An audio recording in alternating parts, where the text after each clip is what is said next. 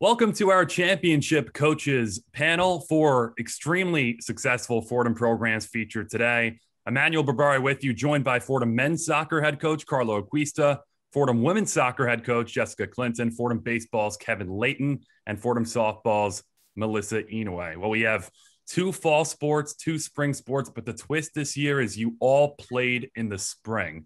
So let's start here. When you got the news in the fall that there wouldn't be any competition going on on campus, what were some of the ways that you were able to keep your team fresh? Let's start with you, Carlo. Uh, we just kept on, I guess, playing, having competition during training training sessions, um, making it fun, keeping it loose.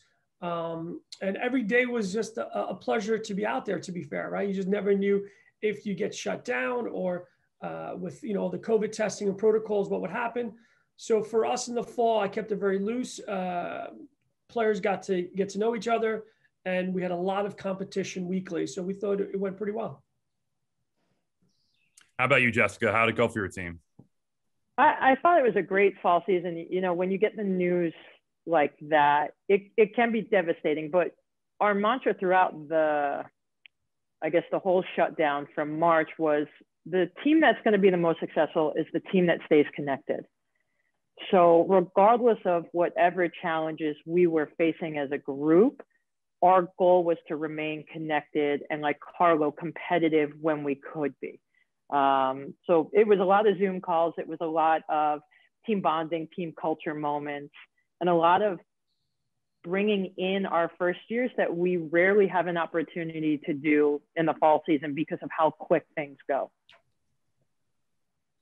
Melissa, as I understand it, you did some intra squad scrimmages, competed against yourselves to stay loose. How was that? Yeah, and in a normal year, Manny, we would have been able to play eight fall games, but unfortunately, with COVID and everything shutting things down, you know, and we returned our same team from 2019, uh, 2020, our 16, we had 16 returners and we only added three new uh, freshmen. So if anything, it was kind of the same team, but just kind of taking it up a notch. But yeah, much like Carlo and Jess, we just did a lot of competition. Um, and I think there was a newness of uh, passion again for the game of softball, right? Because it was taken away from us in the middle of March. Um, unfortunately, March 12th isn't great in, in all of our heads. Um, but yeah, I would say our team was definitely more passionate about the game and more grateful for every opportunity they got on the field together.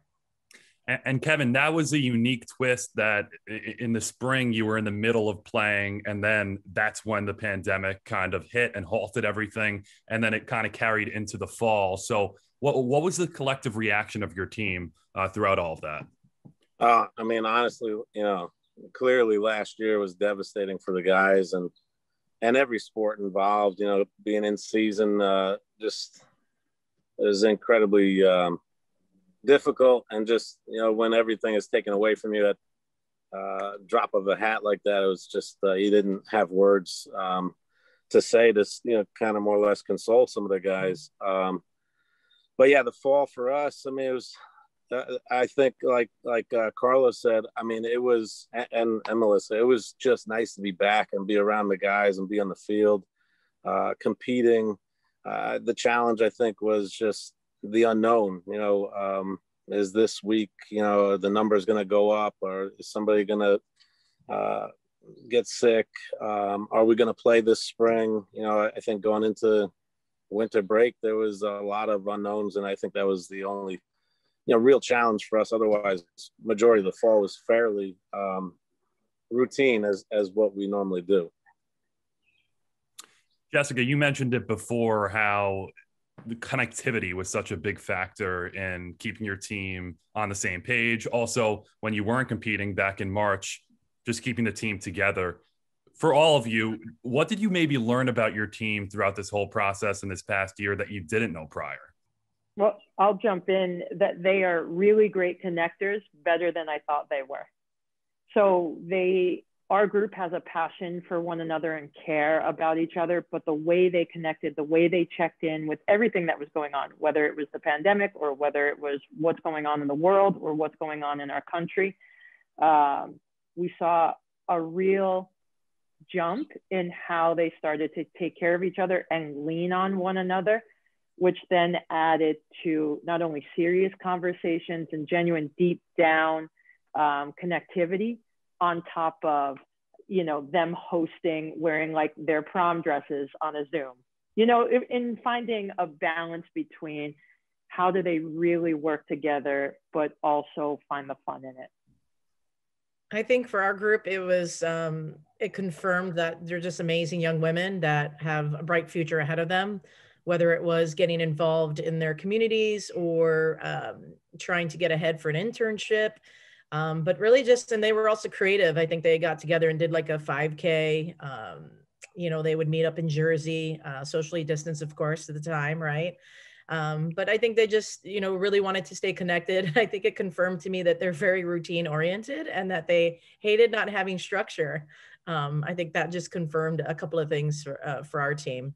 I would agree. I mean, it just uh, showed me how resilient our guys are. Um, you know, they they battled and um, you know fought all the way till the end, and I I think it it showed everyone, you know, especially uh, our guys, you know, going through this is a unique situation, and um, you know, to to have everything that you really work for for uh, most of your life as a college um, athlete be taken away. Um, you know, I, I saw that um, our guys wanted to just keep playing. You know, a lot of times you see that out of your seniors, and um, you know, all of our guys um, did not want the season to end. So know, for us, um, it, it was great to see one player actually opted out of the fall. And uh, three weeks in, he shows up. He goes, "I'm here. I'm ready. To, you know, I'm going to finish this. I'm going to finish the season out in the fall with the team." So I think that at that moment for me defined a little bit of where where we were heading and the direction we were going as a group. Um, and then once we were able to fill in January with you know 102 uh, transfers that came in, and it kind of all came together um, very nicely. So uh, going back to what they all said, it was you know a little bit of a connection, a little bit of a passion for each other, and a little bit of resiliency. You know, uh, I learned a lot from from the, the team this year. You all have had good things to say about how your team was able to react, but as coaches, is the first time you had to deal with a situation like this and and kind of adapt maybe a coaching philosophy, adapt on the fly. Carlo, let's start with you. What were some of the adaptations you had to make in the first year like this in your life? You, you have to have a little more patience in general. You know, get to know each player a little bit more, uh, get to know the team, uh, their dynamics. Um, I think what really separated us a little bit is uh, the group was worked with a professional um, mindset performance coach.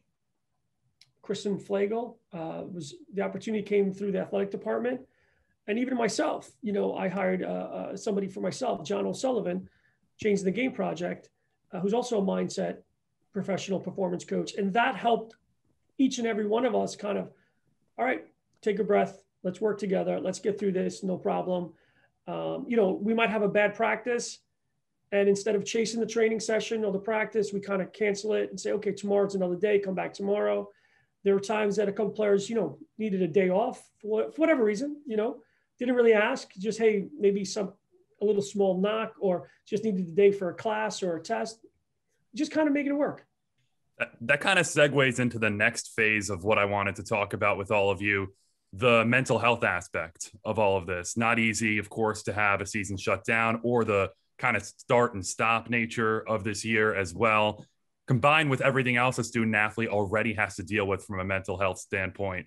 Melissa, I'll, I'll throw it to you here. Uh, was there any uh, focus on mental health or implementations from the athletic department that was prominent within your team? Yeah, absolutely. I think the athletic department uh, really adjusted well to the needs of the student athletes. You know, Carlo mentioned obviously the mental performance. So we have the group sports strata.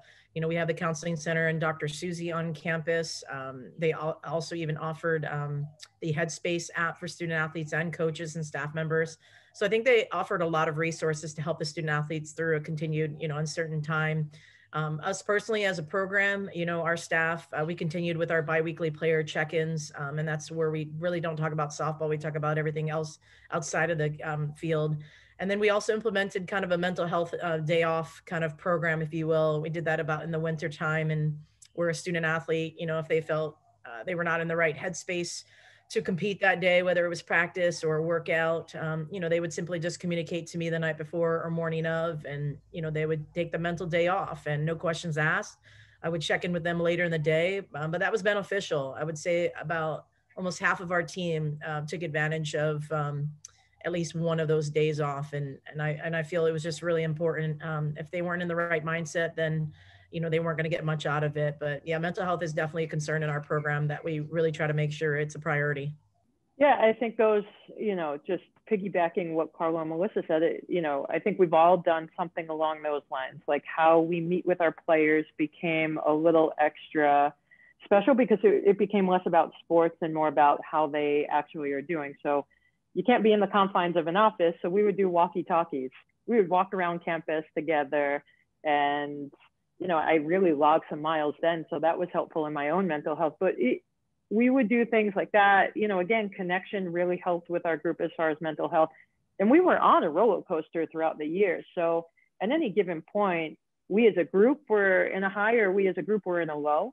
Um, we also joined or worked with Erin McLeod and Dr. Rachel Limbaugh. They have the Mindfulness Project.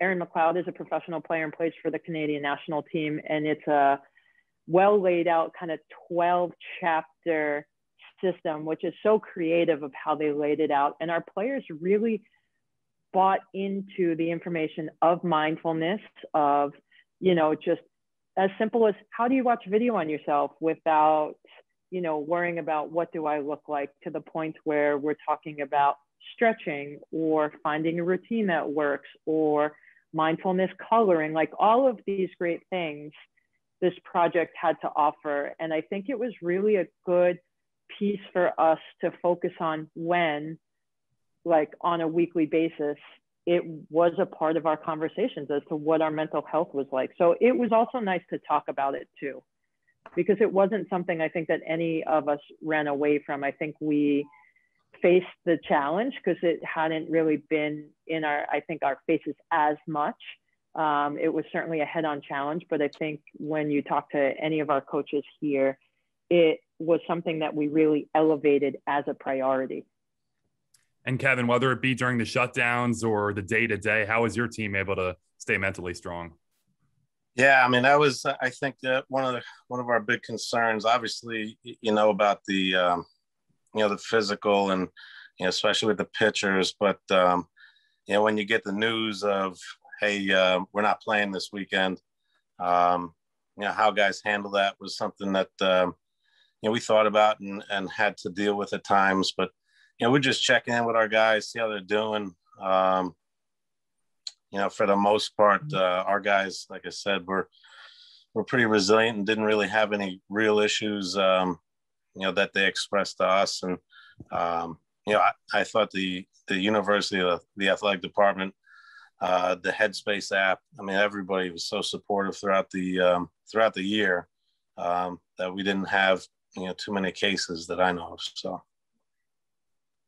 with the difficulty of the past year came different conversations about how we think about racial injustice, whether it on, it's on national scale or, or a local scale within the communities or or just within your own teams. I know all of you have very diverse rosters of players on your team. So, starting with Melissa, what did you take away from those discussions within the team and just everything from last June spanning until now? Yeah, I think it just gave us an opportunity to engage in deeper conversations, as Jess mentioned earlier. Um, and just understanding where some people or, or, some of our players were coming from right? And and allowing them to kind of voice their thoughts and feelings about it because if they're not okay with something off the field then they're not going to be, be okay with something on the field right? And just knowing that some of these situations that occurred um, you know, has personally affected some of them, right? Whether it's a comment from a friend or a family member or what they see on social media. But I think it's just allowed us to have deeper conversations and understand uh, maybe the upbringing and uh, the background of where some of our student athletes are from. Very similar to uh, Melissa, you know, we we we we had we started conversations with the group. Also, our team is from all over, you know, different areas of the world. I get think more than others on campus. Uh, and uh, they were able to get together a lot as a group and talk about social injustice and and their own country and how they treat different things and how they kind of um, uh, deal with it. and it worked out really well for them.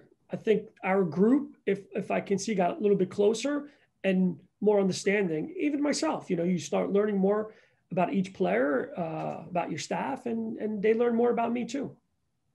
I think Melissa and Carlo really, you know, hit the nail on the head. Is that one? It allowed deeper conversations. We were able to learn more about our own student athletes and see them for who they are, and learn about them and learn about um, what is important to them and the reasons why. Um, I think we all gained a deeper understanding and, and, trust and respect for one another and why we make certain decisions or why we feel a certain way. Um, our group came together and perhaps you've seen our warm-up tops with men's soccer and we have the Fordham logo on the front and you know we talk about say their names on their sleeve and on the back we have Black Lives Matter. It, that is an important piece. I do have a team who uh, we do have women of color on our team and that then became you know, a big passion and discussion within our group uh, of how to support and how to understand. And it has continuously spread in the most positive way of, you know, other things that we're talking about, other things that are happening in this country, um, you know, the Asian hate that has gone on, you know, within this.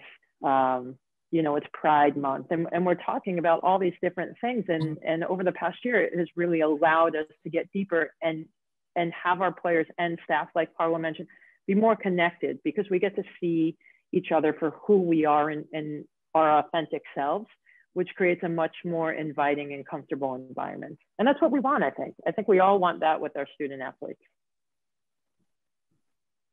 Yeah, and I, I agree with everything they said. And I, I would say, you know, add to it just, um, you know, being when you are an athlete, you kind of jump on board. Um, into a team and nobody knows anybody's background, you know, uh, where they come from and, you know, their upbringing, their family, um, all these different things that go into it that make a team. And, and I felt like this year, um, you know, the conversations allowed for us to kind of get to know each other better. Um, that's something I think as coaches, you're always looking to improve on the culture and the chemistry of your team. And I feel like um, the more each athlete knows about each other, the uh, the closer your team is going to be. So um, something that I think all of us learned, but also you know need to continue and uh, at least on our end, I feel like continue to work on with our with our athletes. So. Well, there are two pillars to the to the term student athlete, and the first one, of course, is student, and that's normally a big responsibility, uh, regardless of the year. Amplified, of course, this year, and the transition to remote learning presented its own set of challenges as well. Given that, let's say you're on the road for an Atlantic 10 championship, things actually might be a bit, little bit easier. You don't have to miss class. What are some of your takeaways from the year that was in academics? Was it easier? Was it harder? Uh, Jessica, start with you. I'm laughing because I, you know, our players would be walking around with laptops, right? They'd be on the bus. Thank God buses have Wi-Fi these days and hotspots are so easy. I, I just can't imagine myself going through remote learning. So I'm laughing as they were like, well, can we be in class and be on the bus? And I'm like, of course you can. Um, you know, our group, I think many of our student athletes have this, especially going to Fordham, have this overachieving like high academic drive. Um, I, I can't say it was any easier or harder for them. I know for our pre-meds, it became a little bit more difficult because labs weren't involved in their, on their day to day. They, the best way I can say, I don't know how they balanced, but they managed it. And our GPAs have come out really strong. I'm really proud of the group. I can't say it was easy, although it seemed at times they weren't missing classes because travel was also restricted for us anyway. Right. But they handled it beautifully. And I'm really proud because it didn't matter at the end of the day what their GPA was or what their grades were. But the importance was that they tried their hardest and they did their best because we knew what this year was like. Uh, same. There's also more flexibility on us, right? We understood that they're walking around with their phone. They're in a team meeting and they have, the, you know, their their phone out and, and listening to the class and trying to pay attention. And, you know, we've also worked around this, their schedules as much as possible. So it was a lot of flexibility. And after doing it a couple times, everybody was so used to it. I mean, going into uh, the Marshall game, uh, we're training the day before, which is an important training session. And we had to leave Tom, our athletic trainer, back uh, because uh, it wasn't even a class, but Josh Levine had a very big interview, right? Now it's interview season. So he comes to practice 30 minutes late, but, you know, just dealt with it. It is what it is. So it was just so many different things uh, that we had to deal with. But uh, I think I got much better at it. And I think it's going to help me in the fall as well in certain situations. I think for our, our group of student athletes, uh, they navigated as best as they could. I think some enjoyed the online learning modality and some really uh, realized that they are more interactive, more one-on-one with the professor. Um, so some struggled at times, but for the most part, they continued to excel in the classroom. And much like Carlo, I think our student athletes did a really good job communicating when there was conflicts or when they had something due for a class they needed more time for. Um, but yeah, I, I think um, the online learning allowed for more flexibility for when you were on the road. Um, but uh, it was interesting to see them doing class in the CAF. And I'm like, are you sure you're paying, paying attention? So needless to say, our GPAs have about stayed the same, but uh, they navigated as best as they could considering the um, uh, uh, continued learning modality. Yeah, I would give all, all of our athletes a ton of credit. I mean, I, I feel like uh, some of our guys expressed the challenge of, um, you know, either being distracted by um, what's going on in their room, apartment, um, and not being, you know, being uh, able to sit in a classroom with a professor's eyes on you. So I, I think, like Melissa said, some um, struggled with it and some excelled with it. I would say, as a professor, I, I would like to give the professors some uh, credit because you know it's got to be hard when you're looking at your screen of all your class and you got a couple of guys sitting in the dugout um, in their you know practice gear getting you know in class. And i for us for me as a coach it's i was like man i, I hope uh, i hope this goes well because um, you know it was something different for for everybody to deal with. Um, it was funny to see some of our guys sitting in class in the dugout while the other guys were stretching. So um, but yeah it's uh, it was an interesting year with that stuff keep it with you, Kevin, and then move across the board from from freshmen coming in and adapting to a difficult year, or seniors who actually returned for an additional year because of COVID nineteen. Definitely wide ranging effects on your programs. Before we even started this Zoom call, we were talking about uh, recruiting season, whether you're in the midst of it or or coming up on it. What makes you optimistic about the the future of your programs with all these lessons learned? Yeah just uh, i mean I, I, feel like these kids have been through so much and i, I feel like um, you know they, they keep pushing and, and keep excelling and and keep finding ways to succeed. I, I feel like um, you know for us i i, said it throughout the year uh, a lot with our guys like this year is going to be different than any year you've ever experienced. And um, I mean, there's going to be a lot of changes a lot of um, things that we're going to have to adapt to and um, I give our guys a, a, lot of credit with that. And yeah, I think that's something that they they've learned, and maybe they've even taught us that, as coaches is that they can adjust, they can adapt, and and they can be successful. And um, you know, the next group is you know what challenges come their way. We don't know yet, but I'm sure that um, they'll be able to handle it the same way. Yeah, I would say resilience. Um, you know, we talked a lot about that already, um, but I would say adaptability. You know, we always want our, our, our student athletes to be coachable, and I and I do feel like a lot of them are so uh, adaptive to any situation. And then I would say just gratitude. I think with um, things being taken away last year and the uncertainty of are, am I going to play the sport again? Am I going to be able to come back to school? I think just a lot of them, you know, were more grateful for um, for anything that came their way and I think we just tried to do a really good job in celebrating all the small victories, right? Because of how kind of sad and melancholy the last year has been. But we really tried to kind of be loose and have more fun uh, and really just enjoy the moment together because any time we know that it would be taken away.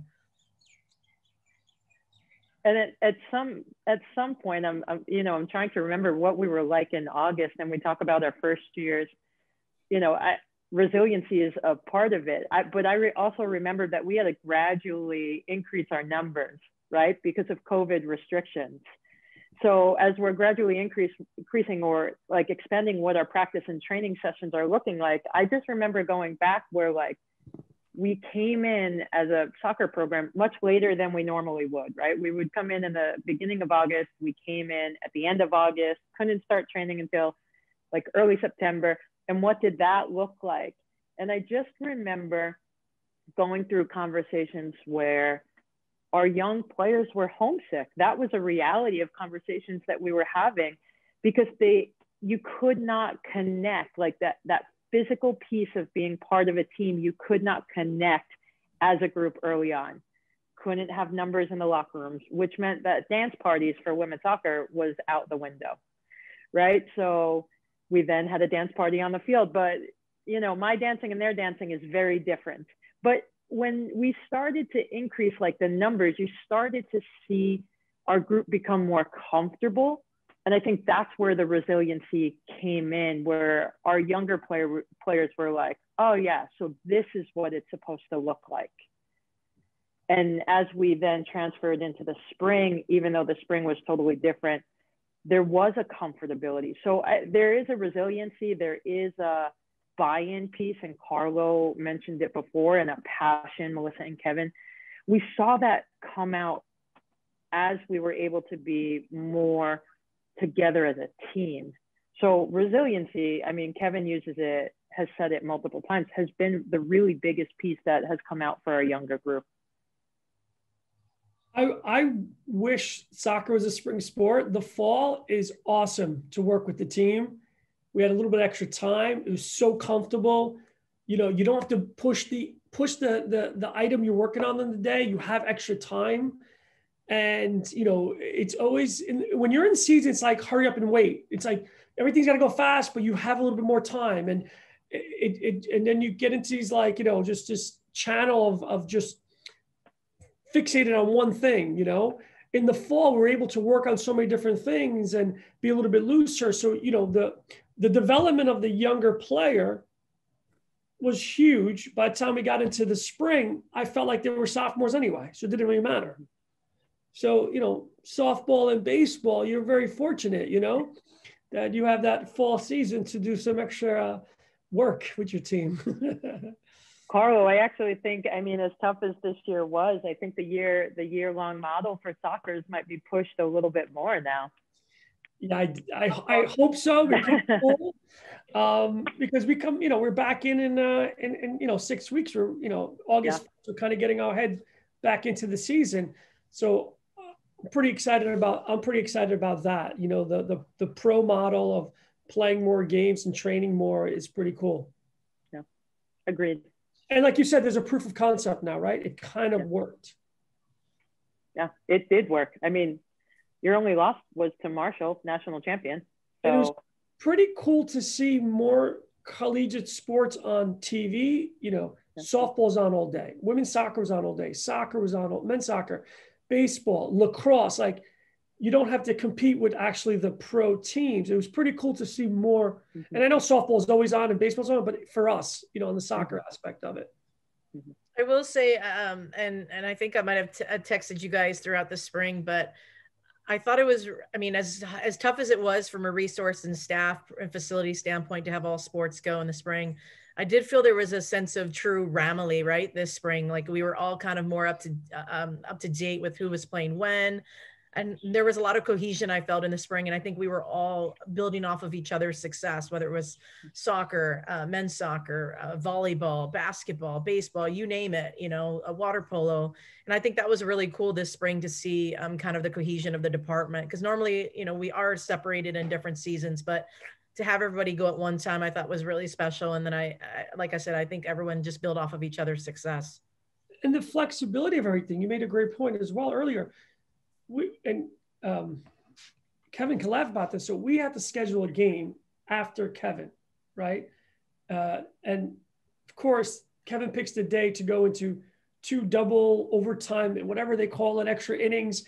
for like, and he goes an extra three hours on the day. So it's really three mini games he played, right? Instead of two. Yeah. No problem. We just adapted. We quickly switched to uh, Murphy and we played against St. Francis, Pennsylvania, Murphy just about, about a half hour later. Um, it's okay. It, it, it, was, you know, we supported each other, everybody, you know, um, nobody, you know, lost their mind over it. it. It's, it is what it is. We were just very happy to be out there. Yeah, but the poor facility guys that were moving the wall from game to game. Yeah. Uh, you know, you have to give kudos to that group too for why, like, why we were so successful or why, you know, we were able to pull it off. We wouldn't have been able to without that group. And it literally took every everything and everyone to do this spring, right, with all the sports. So I think we all uh, are very grateful for the seasons we had. As crazy as and, and unusual it was, I think we're all very grateful for the support that we had this year. Well, great discussion. Really enjoyed being here. It's Fordham men's soccer head coach Carlo Acquista, Fordham women's soccer head coach Jessica Clinton, Fordham baseball head coach Kevin Leighton, and Fordham softball head coach Melissa Inouye. It's our championship coaches panel. Guys, really appreciate the time and thanks for connecting over this. Thank you. Thank you. Ram. Thank you.